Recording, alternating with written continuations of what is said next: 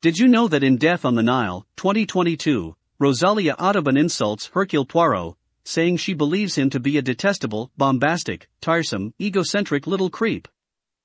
This is a direct quote from Agatha Christie, the writer of the novels, who after 40 years of writing had grown to dislike the character.